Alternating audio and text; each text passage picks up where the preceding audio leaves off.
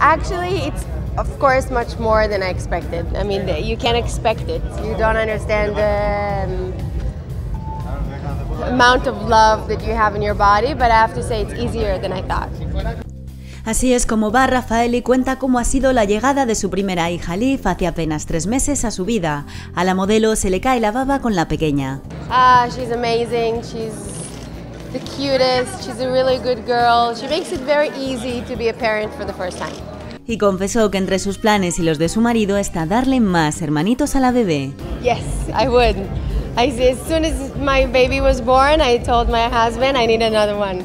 La israelí fue la encargada de brindar de la mano de una conocida marca de champán la llegada del próximo 2017. Champagne is a good reason to celebrate anytime, anywhere. Um, I have a bottle of Moët in my room, so I'm going to drink it tomorrow for no reason at all.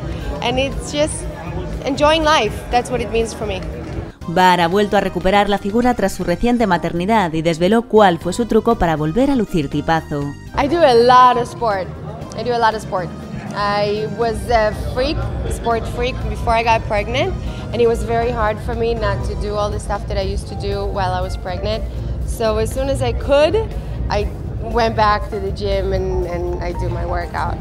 A pesar de no ser católica, la ex de Leonardo DiCaprio espera que estas navidades sean muy especiales, ya que serán las primeras como mamá. It's a, it's a special year for me. I don't celebrate Christmas. I'm from Israel and we're Jewish. We have Hanukkah, but it's, uh, it's just in general a very special year for me.